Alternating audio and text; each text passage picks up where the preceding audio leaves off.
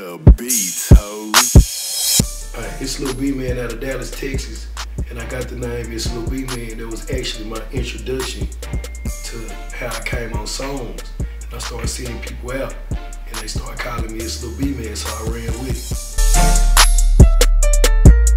I actually been rapping for going on probably about eight, nine years. I started off in the group Paper Chasers, you feel me? We had this song Frankie, R.I.P. Scooby, you know what I'm saying? And from there, the group actually split, and I became a solo artist. So I've been doing this for a minute.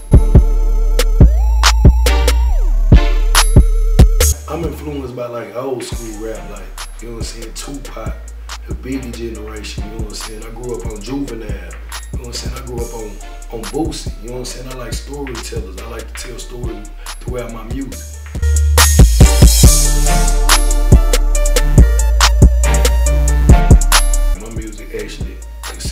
Of styles, a lot of storytelling, but I can also, you know what I'm saying, get you that club music. You know, I'm a all-around artist. I talk about a lot of deep things, a lot of stuff a lot of people going through on a daily basis.